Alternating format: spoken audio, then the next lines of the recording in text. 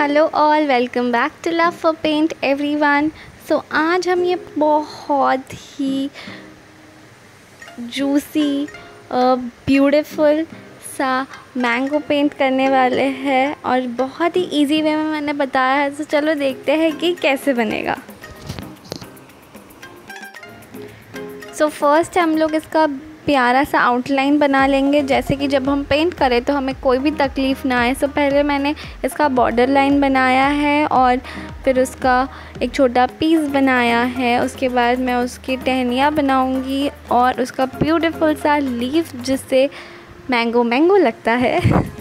So I know summer है और हम सबको समर में मैंगोज तो बहुत अच्छे लगते हैं।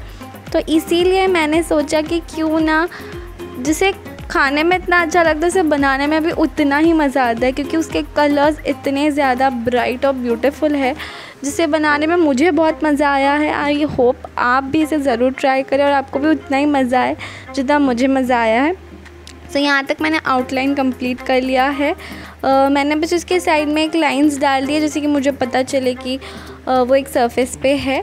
So after I completed my sketch I will start painting so मैं लेमन येलो के साथ स्टार्ट कर रही हूँ।